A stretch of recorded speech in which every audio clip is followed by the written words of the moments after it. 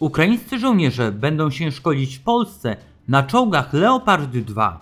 Nie osiągnięto jeszcze porozumienia w sprawie dostaw niemieckich czołgów na Ukrainę, ale minister obrony Ukrainy skomentował możliwość szkolenia ukraińskich załóg jako przełom, przypisując sukces wysiłkom Polski.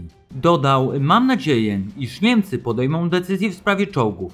Patrzę na to optymistycznie, bo pierwszy krok został zrobiony. Rozpoczniemy misje szkoleniowe na Leopardach 2. Parlament Europejski przyjął dziś rezolucję popierającą działania zmierzające do powołania Międzynarodowego Trybunału do postawienia przed sądem wszystkich winnych zbrodni agresji na Ukrainie. Zdaniem posłów ten kierunek działań pozwoli zlikwidować luki w obowiązującym międzynarodowym prawie karnym. Działalność nowo utworzonego Trybunału powinna opierać się na zasadach i standardach Międzynarodowego Trybunału Karnego oraz Rzymskiego Statut. Pierwszy transport pomocy humanitarnej ONZ dotarł w okolice miasta Soledar w obwodzie donieckim. Mieszkańcom dostarczono m.in. wodę, żywność oraz leki.